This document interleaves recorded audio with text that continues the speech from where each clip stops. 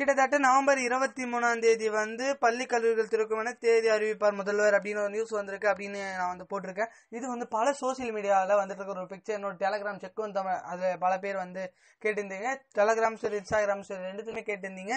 So இதில் வந்து பசங்க தொடர்ச்சி அந்த ஒரு குழப்பமன்றத்தை நீடிச்சிட்டு தான் இருக்கு அப்படின்னு சொல்றதுக்கான ஒரு எக்ஸாம்பிள் தான் இது ஒரு பிக்சர் அது மட்டும் இல்லாமல் நான் டுவெண்ட்டி ஃபோர் போட்டிருக்கேன் ரொம்ப சாரி எடிட்டிங்கில் மிஸ்டேக் ஆயிடுச்சு. ஸோ டுவெண்ட்டி ஃபோரில் டுவெண்ட்டி த்ரீ தான் அந்த நான் எந்த பக்கம் டைப் பண்ணும்போது மிஸ் ஆயிடுச்சு. ஓகே ஸோ டுவெண்ட்டி த்ரீ வந்து என்ன கிழமை கிளியராக தெரியல. நான் அப்படியே பார்த்துட்டு வந்திருக்கேன். ஸோ இது வந்து ஒரு பக்காவான ஒரு ஃபேக் நியூஸ் ஸோ சோசியல் மீடியாவில் வர எந்த ஒரு நியூஸுமே நம்பாதீங்க. ஜஸ்ட் பார்க்குறோம் இந்த மாதிரி ஒரு ஆஃபீஸில் எஜுகேஷன் நியூஸ் எல்லாம் யாருமே நம்ப தேவையில்லை.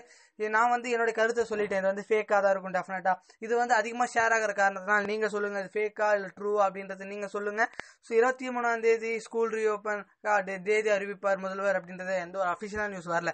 இப்போ நான் வீடியோ எடுத்துகிட்டு வரைக்கும் அஃபிஷியல் நியூஸ் வரல. ஃபேக்கர் இல்லை நீங்கள் சொல்லுங்கள் தேங்க்யூ டாட்